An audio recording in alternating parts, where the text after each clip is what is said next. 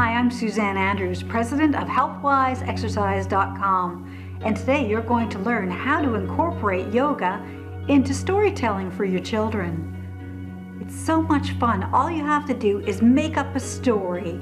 So you can pretend you're walking through the woods. You saw a tree, and out behind that tree came a cat.